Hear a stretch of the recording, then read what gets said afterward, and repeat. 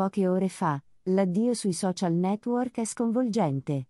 Tutti i dettagli sull'increscioso e inatteso accaduto.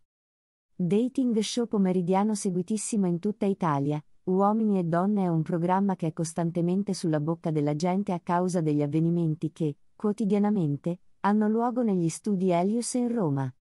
Difatti, ciò che è successo in queste ore sta facendo rimanere senza parole tutti gli ammiratori della trasmissione di Maria De Filippi. Che cosa è accaduto? Sfortunatamente, si è verificato un episodio orribile. Di che cosa si tratta? Lo show del primo pomeriggio di Queen Mary De Filippi è da sempre molto seguito dal pubblico di Canale 5 grazie alle intuizioni della padrona di casa. Effettivamente, Uomini e Donne è uno dei programmi più visti di Mediaset.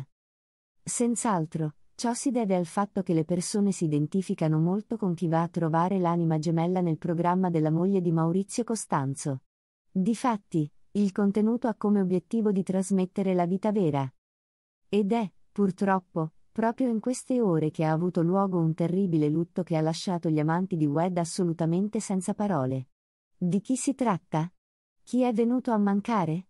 Scopriamolo insieme. Uomini e donne, l'addio sui social è sconvolgente. Ebbene sì, purtroppo negli ultimi minuti si è verificata una grande perdita che ha a che fare con la grande famiglia del programma del Biscione. Ma di chi si tratta? Che cosa è successo?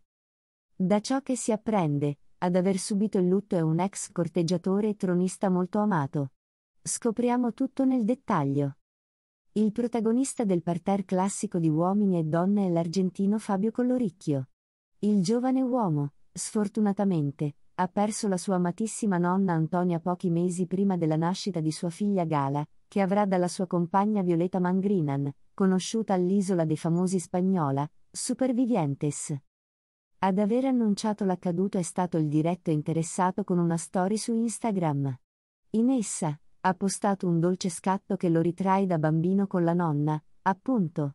Queste sono state le sue parole. È un peccato che non conoscerai la piccola Gala, ma so che starai sempre qui con noi ti amo nonna. Finalmente ti rincontrerai con lo zio. Grazie per esserti presa tanto cura di tutti. Sei un esempio di vita. La dolce metà di Colloricchio ci è tenuto a ringraziare tutte quelle persone che hanno inviato messaggi di cordoglio mentre il suo Fabio è partito per l'Argentina.